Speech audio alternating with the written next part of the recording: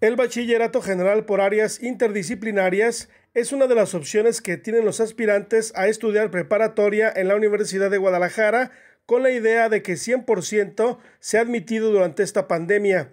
Este bachillerato es semiescolarizado o híbrido y se abrió desde hace 10 años, por lo que ya está consolidado, informó la directora de Educación Continua Abierta y a Distancia de la Universidad de Guadalajara, Lucila Rivera Martínez, quien precisó que actualmente tienen 5.500 alumnos en esta modalidad, que combina asesorías presenciales con clases virtuales.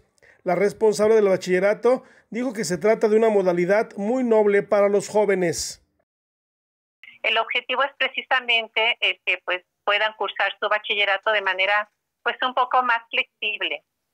El, el plan de estudios pues es el mismo que el bachillerato general por competencia, simplemente se reacomodan las asignaturas. De manera que los chicos en este bachillerato cursan eh, siete, siete áreas interdisciplinarias, 21 unidades de aprendizaje, o sea, lo que antes le llamábamos materias, diríamos, ellos tienen 21 materias, llevan una materia a la vez, de manera que terminan una materia e inician la otra. Cada materia dura entre dos, tres semanas. El bachillerato semiescolarizado o híbrido se cursa en el mismo plantel al que realizaron trámites y tiene una eficiencia terminal de 87%, superior al promedio de los estudios virtuales. La oferta educativa del bachillerato general por áreas interdisciplinarias se ofrece en 17 sedes del estado. En el área metropolitana de Guadalajara se imparte en las preparatorias 1, 2, 3, 4, 8, 10 y 11 y en Tonalá. En las regiones foráneas existe oferta en Agualulco, Arandas, Atotonilco, Chapala, Tlajomulco, Colotlán, El Salto, Sayula y Tepatitlán. Para quienes son escépticos, tanto los jóvenes o los padres de familia, el sistema de enseñanza media superior garantiza la calidad de los docentes y los estudios. Además, los alumnos forman parte de la comunidad estudiantil de cada plantel, usan la biblioteca, intervienen en los actos cívicos y académicos y las asesorías presenciales las toman en aulas de cada preparatoria.